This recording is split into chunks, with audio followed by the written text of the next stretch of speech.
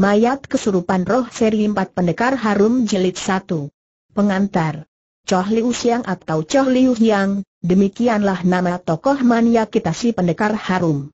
Laki-laki, laki-laki sejati, meski Choh Liu Hiang mendapatkan julukan Pendekar Harum, tapi dia bukan perempuan harum tidak identik dengan perempuan, harum juga bukan monopoli perempuan.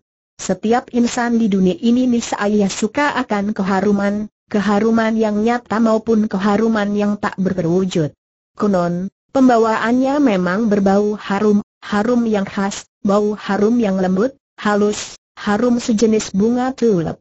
Dia cakap, ganteng namun usianya tidak terbilang muda lagi, tapi juga belum terlalu tua, di atas tiga puluhan begitulah.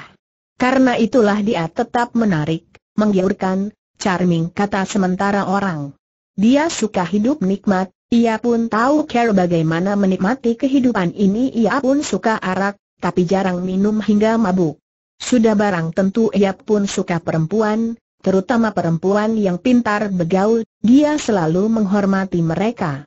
Dia benci pada orang kaya yang kikir dan tak berbudi sering kali dia bantu memindahkan harta benda mereka pada kaum miskin. Orang yang pernah menerima pertolongannya sukar dihitung jumlahnya. Dengan sendirinya banyak musuhnya, tapi kawannya jauh lebih banyak. Siapa pun tidak dapat mengukur ilmu silatnya, yang jelas selama hidup tak terkalahkan, terutama ginkangnya, ilmu meringankan tubuhnya boleh dikatakan tiada bandingannya. Tiada yang tahu dari aliran mana ilmu silatnya, yang jelas ilmu silatnya bergaya khas Choh Liu yang ilmu silatnya adayah pembauran intisari berbagai ilmu silat aliran terkemuka di dunia persilatan hasil pemikirannya. Dia suka bertualang dan menyerempet bahaya, sebab itulah meski dia sangat pintar dan cerdik, tapi sering berbuat hal-hal yang tolol. Dia bukan seorang kuncu, bukan ksatria tulen, bukan gentleman yang tanpa cacat, tetapi dia juga bukan Xiao Jin bukan orang yang rendah dan pengecut kebanyakan orang Kang Hong nyebut Choh yang SWE atau si bagus harum si Choh sebagai tanda sanjung puji kepada tokoh kesayangan mereka, tapi ia pun mendapat nama ejekan si kutu busuk dari Oh TNI Hoa yang berwok, seorang kawannya yang paling karib. Di atas semua itu Choh Liu yang bukanlah seorang Superman. Yang tanpa cacat ia pun punya kelemahan badaniah, yakni pada hidungnya, pada indera penciumannya. Hidungnya kurang tajam kalau tidak boleh dikatakan hampir pati rasa. Beginilah tokoh Choh Liu yang ini, hidupnya yang banyak gaya dan ragamnya ini penuh dengan kisah yang aneh-aneh dan menarik. Titik. Mayat hidup kesurupan roh supaya maklum sebelumnya, ini bukan cerita tentang setan, akan tetapi, peristiwa ini, tidak kurang seram dan anehnya daripada cerita setan mana pun di dunia ini. Tanggal 28 bulan 9, masih musim rontok, namun hawa sudah terasa dingin. Apa yang terjadi dalam Cengpu Sanceng, perkampungan lempar cangkir, kalau tidak disaksikan sendiri oleh Choh Liu Hiang, mungkin selamanya dia takkan percaya. Cheng PWS Sanceng terletak di luar kota Xiongkang, berjarak kurang dari tiga li dengan Siu Yakio, jembatan alam permai, yang termasyhur itu. Setiap tahun, bila musim dingin hampir tiba, dapat dipastikan Choh Liu yang datang ke Cheng PWS San Cheng dan tinggal selama beberapa waktu di situ. Sebabnya, untuk memenuhi kegemarannya, yakni makan ikan loh, sejenis ikan bandeng air tawar. Maklumlah, di kolong langit ini, hanya ikan loh yang hidup di sungai di bawah Siu Yakio ini yang berinsang empat, benar-benar lain daripada yang lain. Setiap orang Kangong tahu, cukong perkampungan Cheng PWE, yakni Cukin Hou. Cujia, selain Chiang Hoat, ilmu pukulan dengan telapak tangan, menjagoi wilayah Kang Lam, dia masih mempunyai kemahiran lain yang istimewa, yakni kemahiran memasak loh hikwe, kuah ikan loh, dengan bumbunya yang khas. Lebih dari itu, setiap orang Kangou juga tahu Cujia adalah seorang hartawan yang sosial, di rumahnya selalu penuh tamu, akan tetapi tetamu di seluruh kolong langit ini hanya dua orang saja yang dapat membuat Cujia turun tangan sendiri ke dapur untuk mengolah lohai KWE. Dan Choh Liu yang adalah seorang di antara kedua orang yang beruntung itu. Akan tetapi, kedatangan Chop Liu Hiang ke CCNG PWSan CCNG kali ini gagal menikmati lohai KWE yang dimasak Cujia sendiri, sebaliknya dia malah mengalami suatu peristiwa yang selamanya belum pernah dialaminya, peristiwa ajaib, misterius dan sukar untuk dipercaya. Selama hidup Chow Liu Hiang juga tidak percaya di dunia ini bisa terjadi hal demikian. Seperti Chow Liu Hiang, Cuja juga orang yang paling tahu care bagaimana hidup nikmat. Dia tidak suka pada kedudukan, tidak kemaruk pangkat, yang dia barapkan hanya sehat dan gembira. Di Cheng PWS San Cheng terdapat penyanyi yang paling tenar di daerah Kang Lam, ada arak yang paling tua dan enak. Di istal ada kuda pacu yang paling cepat larinya. Di ruang makan penuh tamu penggemar makan. Akan tetapi kesenangan Cuja bukan cuma hal-hal begitu.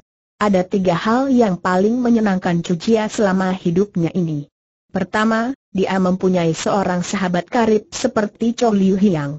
Dia sering berkata pada siapa pun juga, dia lebih suka menebas putus tangan kiri sendiri daripada kehilangan sahabat seperti Chow Liu Hiang. Hal kedua yang menyenangkan dia ialah mempunyai musuh yang ditakuti di dunia ini, yaitu si Jin, si Tai Hiap yang terkenal sebagai Tian Hite Kiam Hek si pendekar pedang nomor satu di dunia. Sudah berlangsung tiga puluhan tahun permusuhannya dengan si Jin, tapi Cuja masih dapat hidup gembira dan bahagia hingga sekarang, biarpun si Jin sangat disegani namanya menggoncangkan jagat, tapi nyatanya tidak dapat berbuat apa-apa terhadap Cujia. Apabila membicarakan hal ini, tanpa terasa Cujia lantas bergelak tertawa dan merasa bangga. Hal ketiga yang juga sangat menyenangkan dia adalah karena dia mempunyai seorang anak perempuan yang sangat pintar, sangat cantik dan juga sangat penurut. Cujia tidak mempunyai anak laki-laki, tapi hal ini tak pernah membuatnya menyesal, sebab ia anggap anak perempuan satu-satunya ini beratus kali lebih baik daripada orang lain yang mempunyai sepuluh anak laki-laki. Chu Beng Chu, anak perempuan kesayangannya itu, sesungguhnya tidak pernah membuat kecewa Seng Ayah. Sejak kecil hingga besar, hampir tidak pernah Beng Chu jatuh sakit, lebih-lebih tak pernah berbuat sesuatu yang mengesalkan hati Seng Ayah. Kini Beng Chu berusia 18, tetapi masih tetap menyenangkan dan penurut seperti anak umur tiga tahun. Meski ilmu silat Beng Chu tidak terlalu tinggi, tapi di antara kaum wanita sudah tergolong pilihan, tergolong top. Setelah berkelana dua kali, sedikit banyak di dunia Kangou juga mulai terdengar namanya yang gemilang, orang menyebutnya Giok Sianwa atau si boneka Dewi cantik. Walau orang tahu sebabnya dia mendapatkan nama sebagian besar karena penghormatan kawan Kangou kepada ayahnya, akan tetapi Cuja sendiri tidak memusinkan urusan itu. Sesungguhnya Cuja sendiri tidak mengharapkan anak perempuannya akan menjadi seorang pendekar wanita. Apalagi Beng Chu sendiri juga tiada waktu banyak untuk berlatih silat. Maklum, dia harus meladeni Seng Ayah, mengiringi dia main catur, mengiringi minum arak, mesti memetik kecapi bagi beliau, belum lagi belajar mengarang bunga, membaca kitab, menulis saja. Pokoknya, apa pun yang dilakukannya adalah demi Seng Ayah, sebab dalam kehidupannya memang belum ada lelaki kedua. Singkatnya, Nona Chu ini adalah model anak perempuan permata hati setiap ayah. Hampir tidak pemah Cucia merisaukan anak perempuannya. Sebegitu jauh Beng Chu memang tidak pernah membuat susah Seng Ayah. Akan tetapi sekarang, peristiwa yang paling ajaib, paling seram, paling aneh dan paling sukar untuk dipercaya justru terjadi atas diri Beng Chu.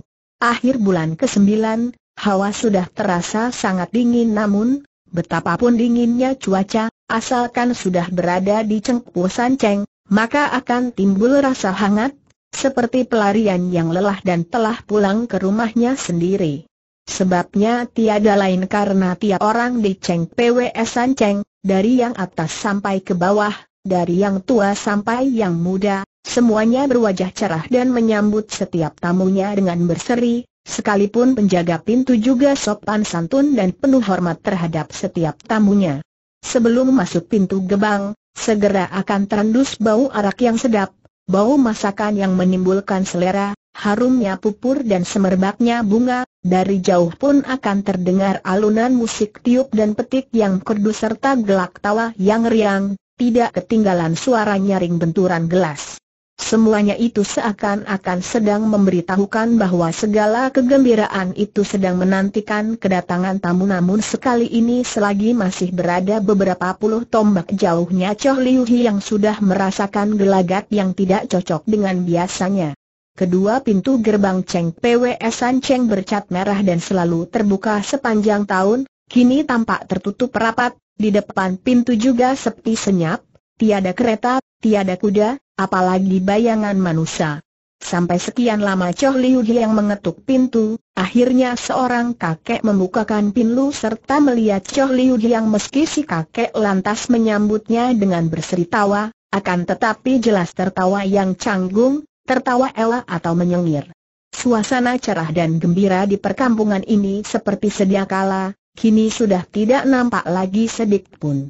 Malahan di halaman tampak banyak bersemikan daun rontok yang hampir tidak pernah disapu, ketika angin meniup daun kering itu kabur berhamburan, suasananya menimbulkan rasa pilu dan hampa tak terkatakan. Choh Liu yang bertambah kaget setelah dia berhadapan dengan Chu Kin Hao. Tokoh Kang Ho Budiman yang biasanya berwajah cerah dan bersemu merah ini kini telah berubah pucat dan kurus, sampai matanya juga mendelong. Baru satu tahun berpisah, rasanya Cukin Hao sudah bertambah tua belasan tahun. Di wajah Cukin Hao sekarang sudah tidak diketemukan lagi bayangan riang dan bahagia, senyuman yang diperlihatkannya juga tidak dapat menutupi mata arisnya yang penuh kesedihan itu. Ruang tamu yang biasanya ramai penuh tamu itu kini pun sunyi senyap, tiada seorang tamu pun, alat perabot sudah banyak berdebu, Sampai-sampai burung walet yang biasanya terbang kian kemari menyusuri ruangan yang besar ini kini pun tidak kelihatan lagi, mungkin sudah li hijrah ke tempat lain. Sesungguhnya apa yang telah terjadi di Cheng PWS Sanceng ini? Mengapa berubah sebanyak ini? Heran dan kejut Choh Liu Ihi yang tak terkatakan. Cuja menjabat tangan Choh Liu Hi yang erat-erat, sekian lama pula ia pun tidak sanggup bersuara. Jiko, selama, Selama ini baik-baikkah kau Choh Liu yang coba menjajaki? Baik, baik. Sekaligus Cukin Hao mengucapkan baik beberapa kali dan air mata pun berlinang, tangan Choh Liu yang digenggamnya lebih kencang dan suaranya menjadi serak. Cuma Beng Chu, Beng Chu, Beng Chu kenapa tanya Choh Liu Hiang? Cukin Hao menghela napas panjang dan menjawab dengan murung, dia sakit, sakit berat sekali, Padahal tanpa dijelaskan juga Choh Liu yang tahu Beng Chu pasti sakit berat, kalau tidak, orang tua yang selalu riang gembira ini tidak mungkin bersedih sedemikian rupa. Ah, orang muda kan bukan apa-apa kalau cuma jatuh sakit saja. Setelah sembuh malahan akan bertambah kuat, ucap Choh Liu yang dengan tertawa canggung Chow Kin Hao menggeleng dan berkata pula, kau tidak tahu, kau tidak tahu, penyakit anak ini adalah, adalah semacam penyakit aneh, penyakit aneh Liu yang menegas. Ya, dia berbaring di tempat tidur, setetes air pun tak mau minum, sebutir nasi pun tak mau makan, tanpa minum dan makan ini sudah berlangsung hampir sedobian lamanya, saya umpama kau, juga tidak tahan akan penderitaan begini apalagi dia, apakah sebab musabab penyakitnya sudah diketahui hampir semua tabib ternama di wilayah Kanglam ini telah kudatangkan, namun tetap tidak diketahui apa penyakitnya, ada sementara tabib hanya memeriksa nadi, lalu Parnit pulang, membuka resep obat saja tidak mau. Apabila tiada obat Shok Beng Wan, pil penyambung nyawa, pemberian Tiok Kancai yang diminumnya tiap hari sehingga jiwanya masih terlindung, kalau tidak, kalau tidak, anak ini mungkin, mungkin sudah, Sampai di sini suaranya menjadi tersendat-sendat dan air mata pun bercucuran.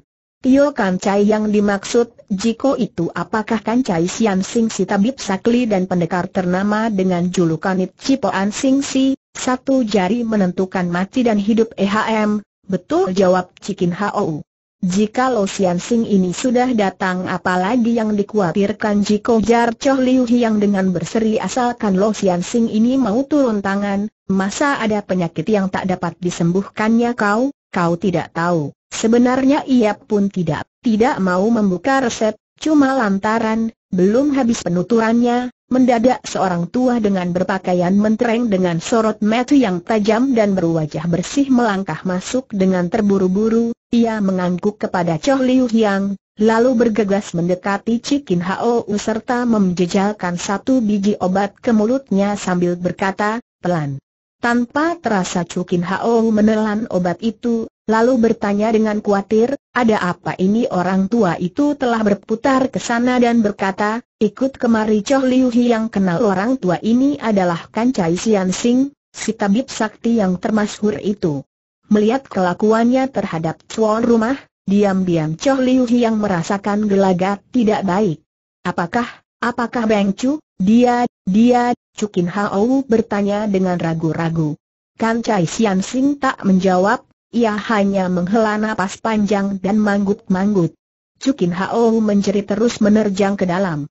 Waktu Choh Liu yang ikut masuk ke sana, Cukin Bo sudah jatuh pingsan di depan pembaringan, di atas tempat tidur membujur tenang sesosok tubuh gadis yang cantik dengan muka pucat lesi dan kedua mata, tertutup rapat Kancai Sian Sing menarik selimut, menutupi muka yang pucat itu, lalu ia berkata kepada Chu Jia, lantaran ku khawatir Chu Jia akan terlalu sedih dan mengganggu jantung sehingga terjadi pula hal-hal yang tak terduga, maka lebih dahulu telah ku beri minum, satu, biji hao simtan, pil penguat jantung, Kemudian ku beritahukan berita duka ini, tak tersangka, tak tersangka dia tetap, tabib sakti yang biasanya memandang mati dan hidup sebagai sesuatu yang wajar itu. Kini air mukanya menampilkan rasa duka dan pedih. Lalu dia menyambung, sudah sekian lama dia bersusah payah, aku menjadi khawatir kalau-kalau dia pun amruk, syukurlah yang SWE hadir di sini, tolong kau menguatkan jantung nadinya dengan tenaga dalammu. Jika kau tidak datang sungguh entah apa yang harus kulakukan, tanpa disuruh lagi segera Choh Liu yang menempelkan telapak tangannya pada hulu hati Cukin Hao, diam-diam ia menyalurkan tenaga dalamnya. Cuaca remang-remang, malam sudah hampir tiba, namun Cheng. PWS Cheng yang luas itu belum lagi menyalakan lampu.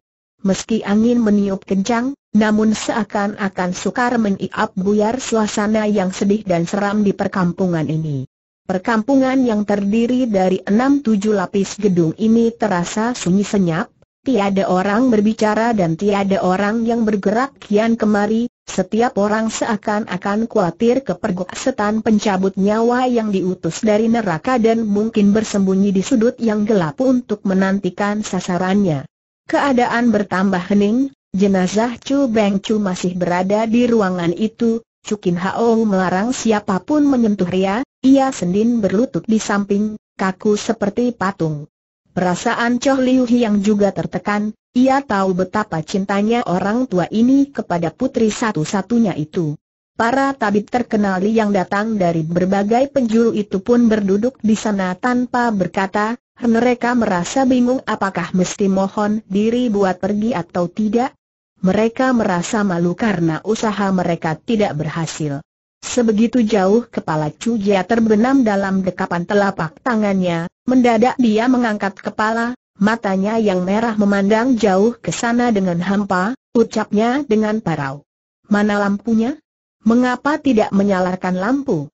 Masa kalian tidak mengizinkan kulihat mukanya tanpa bicara Choh Liu yang berdiri ia mendapatkan batu dan pisau ketikan api di atas meja, tapi baru saja ia menyulut lampu perunggu yang berkerudung kristal, sekonyong-konyong angin kencang meniup dan luar jendela sehingga selimut putih yang menutupi jenazah itu tersingkap, Kelambu tempat tidur juga terselak hingga gantungan kelambu yang terbuat dari tembaga membentur tiang ranjang dan menerbitkan suara kelinting nyaring mirip bunyi kelintingan setan pencabut nyawa yang sedang berkeliaran. Bres, lampu yang sudah dinyalakan Choh Liu yang itu padam pula. Tanpa terasa Choh Liu yang merinding juga sehingga kristal kerudung lampu jatuh ke lantai, maka hancurlah kristal itu. suasana menjadi gelap gulita pula. Angin masih meniup dengan kencangnya, beberapa tabib menaikkan leher baju untuk menahan hawa dingin, ada di antaranya. Sudah menggigil, ada pula yang berkeringat dingin. Pada saat itulah, mayat di atas ranjang itu mendadak membuka mata, terus bangkit berduduk. Sesaat itu jantung setiap orang seolah-olah berhenti berdenyut. Habis itu lantas ada suara jeritan kaget, sampai-sampai Choh Liu yang tanpa terasa menyurut mundur satu tindak. Pandangan mayat itu mula-mula tampak termangu-mangu terarah lurus ke depan, lalu pandangannya mulai menggeser namun matanya tetap mengandung hawa orang mati yang seram dan misterius. Tampaknya Chu Kin Hao juga melenggong terkejut, bibirnya bergerak, tapi tak dapat mengeluarkan suara. Biji mata mayat itu tampak bergerak beberapa kali dengan kaku, sekonyong-konyong menjerit dengan suaranya yang keras melengking. Begitu keras dan seram suaranya sehingga ada di antara hadirin segera hendak lari ketakutan, namun kaki serasa diganduli benda beribu kati, hanya gemetar saja dan tiada tenaga buat melangkah. Suara jeritan mayat mulai serak akhirnya berhenti dengan terengah-engah, ucapnya dengan parau, tempat apakah ini? Meng, mengapa aku bisa berada di sini? Metu Cuja terbelalak lebar, ucapnya dengan suara gemetar, oh, Tuhan Maha Pengasih, Beng Cu ternyata tidak mati, Beng Cu telah hidup kembali. Siapa tahu mendadak Beng Cu meronta keras dan mendorong, dengan erat ia memegang selimut yang menyelimuti tubuhnya, Tampaknya gemetar tegang dengan terkejut ia melotot pada Cukin Hao hitam matanya seperti membesar saking takutnya laksana melihat setan. Beng Cu, dengan napas tersengal Cukin Hao berkata pula, masa kau tidak, tidak kenal ayah lagi mayat itu meringkuk, mendadak ia berteriak dengan parau, aku. Bukan Beng Cu, bukan anakmu, aku, aku tidak kenal kau tentu saja Cujia melengak, tak terkecuali, Choh Liu Hiang juga tercengang.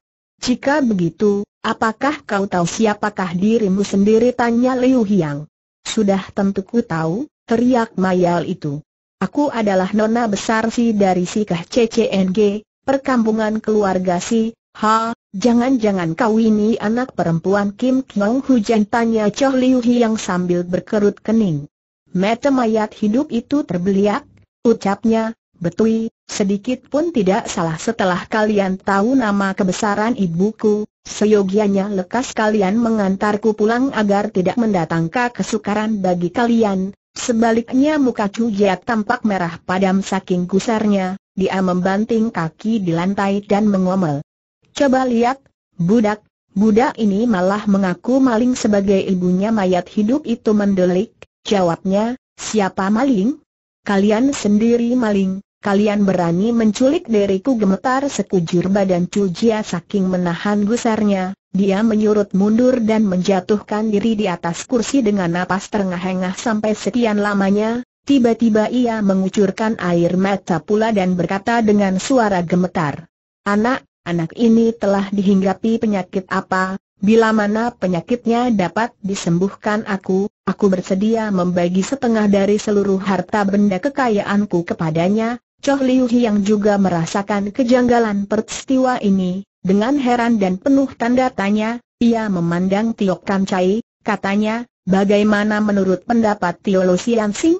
Tio Kan Chai termenung sejenak, jawabnya kemudian, melihat keadaan penyakitnya, rasanya seperti sejenis Li Hun Ching, sakit kehilangan ingatan, hanya orang yang mengalami pukulan batin dan goncangan perasaan hebat baru bisa menderita penyakit ini. Sudah hampir 50 tahun aku berpraktek dan belum pernah melihat penyakit demikian, wajah mayat hidup itu mendadak juga merah padam, dengan gusar ia membentak, siapa yang kena penyakit lihuncing? Kukira kau sendiri yang sakit gila ngaco tak keruan membacot sesukanya, Tio Kancai menatapnya lekat-lekat sekian lama, Tiba-tiba ia memindahkan sebuah cermin perunggu besar yang tertaruh di pojok sana ke depan nona cantik ini, katanya dengan tegas coba, sekarang kau perhatikan, tahukankah siapakah dirimu sendiri bila kau damprat nona itu dengan gusar. Sudah tentu ku tahu siapa diriku sendiri, tidak perlu ku pandang.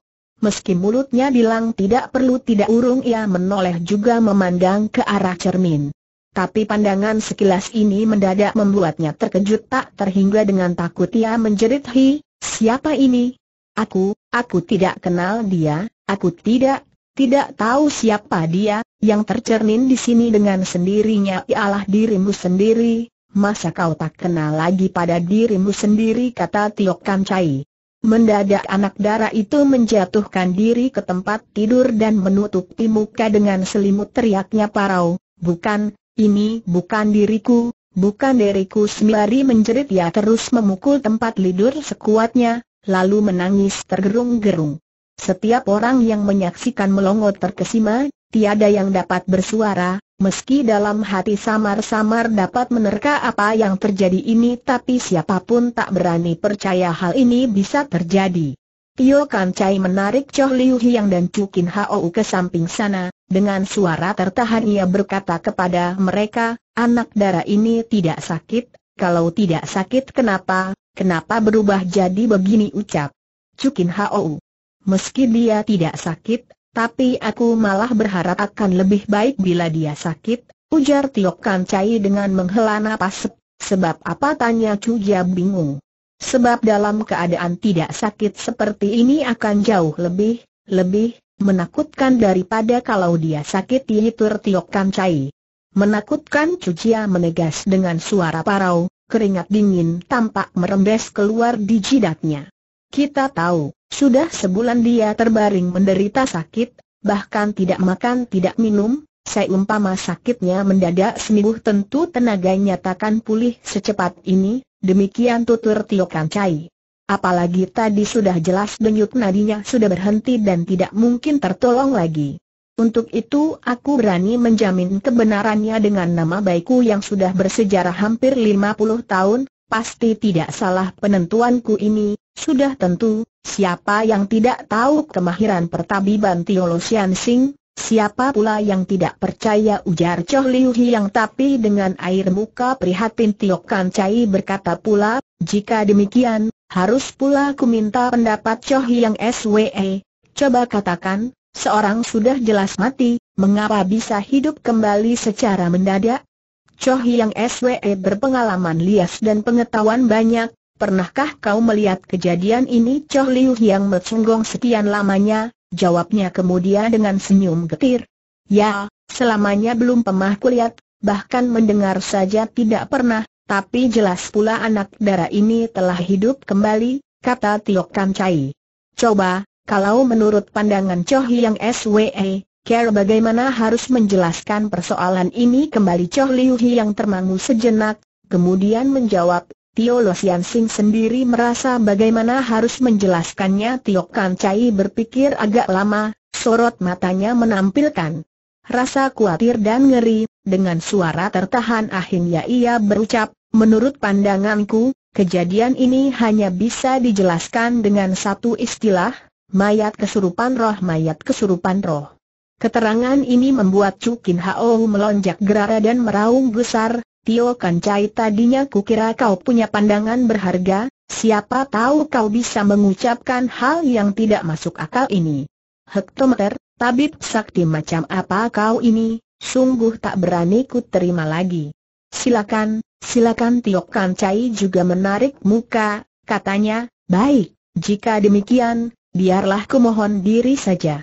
Dengan gusar segera ia hendak tinggal pergi. Tapi Choh Liu Hi yang telah menarik dan membujuknya agar jangan pergi, kemudian ia pun membujuk tuan rumah, katanya, urusan ini memang luar biasa, kita harus berpikir dan bertindak secara bijaksana, janganlah kila dipengaruhi emosi, Cukin Hao melolot, katanya, memangnya kau, kau pun percaya kepada omongan setan begitu? Choh Liu Hi yang termenung sejenak, lalu katanya, apa pun juga, Harap kalian berdua suka tenang dulu, biarlah kulayani anak darah itu, harus kutanya hingga jelas duduk perkaranya, lalu ia mendekati tempat tidur, ia tunggu setelah tangis anak darah itu mulai mereda, dengan suara lembut ia lantas bertanya, aku dapat memahami perasaan Nona, bahkan aku bersimpati kepadamu. Ku tahu, siapa pun kalau menghadapi urusan begini pasti juga akan sangat berduka. Yang kuharapkan hendaklah Nona percaya padaku.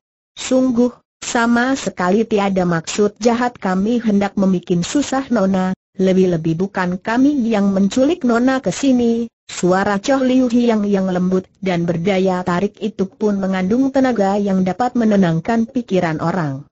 Tangis nona itu benar-benar berhenti, namun kepalanya masih dibenamkan dalam selimut, ucapnya dengan parau, bukan kalian yang menculik.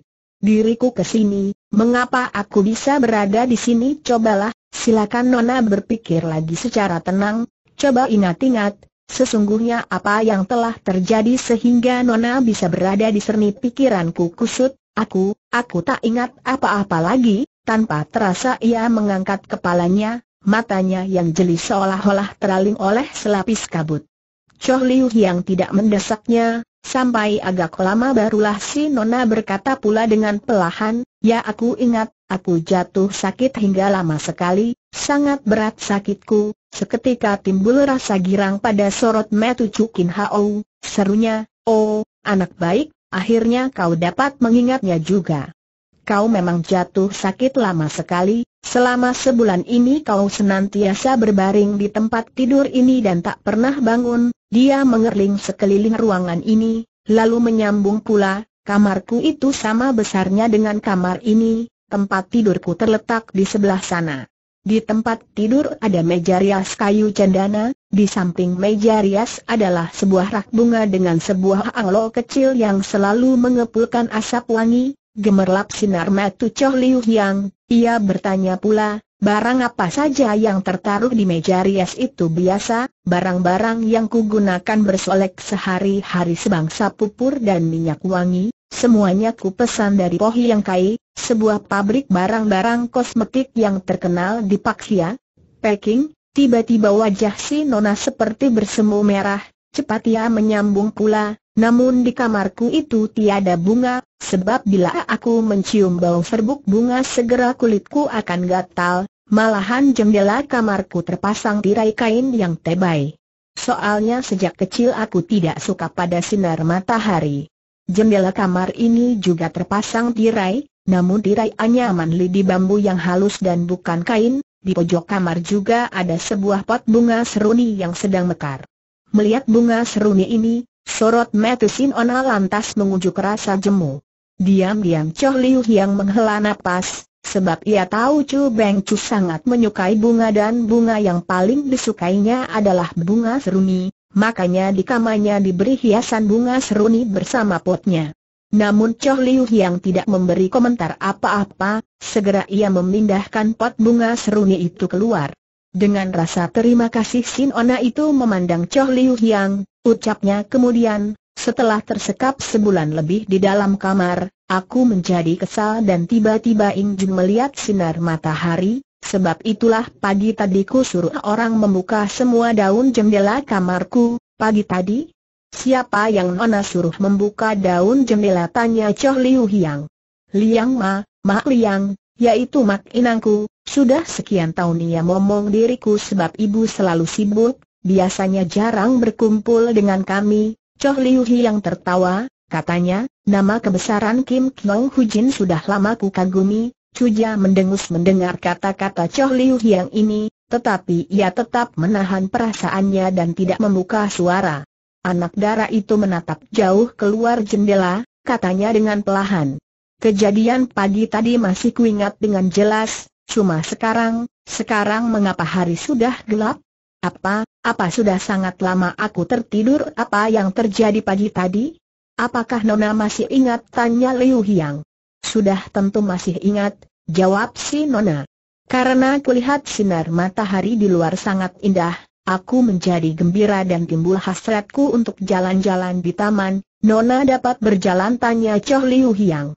Anak darah itu tersenyum pedih, jawabnya, sebenarnya aku tidak kuat berdiri, tapi Liang Ma tidak tega membuat kecewa kehendakku, maka dia memapah dan menurunkan aku dari tempat tidur serta mengganti pakaianku, apakah baju yang Nona pakai sekarang ini? Tanya Choh Liu Hiang pula.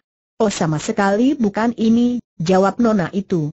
Baju itu adalah baju kesukaanku yang dijahit sendiri oleh Liang Ma. Bahan baju itu pun ku pesan beli dari toko kain sutera SW Isian di Pahia. Warnanya merah dengan sulaman burung hang wama ungu. Entah mengapa, bicara punya bicara tiba-tiba muka si Nona bersemu merah seperti orang kemalu-maluan.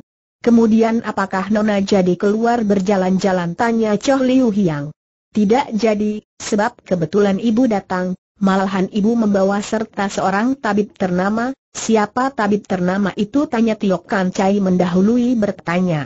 Ibu bilang hampir semua tabib ternama di daerah Keng Lem telah diserobot oleh Cheng PWS San Cheng sehingga penyakitku sukar disembuhkan, maka ibu sengaja mengundang tabib ternama Ong Uhon dari utara, yaitu Ong Lo Sian Sing yang namanya sama gemilangnya dengan Tio Kan Cai di daerah selatan, mereka terkenal dengan sebutan Ong di utara dan Tio di selatan. Bukan Ong di utara dan Tio di selatan, tapi harus Tio di selatan dan Ong di utara, tutur Tio Kancai dengan menarik muka. Rupanya ia tidak terima bila namanya ditaruh di bagian belakang.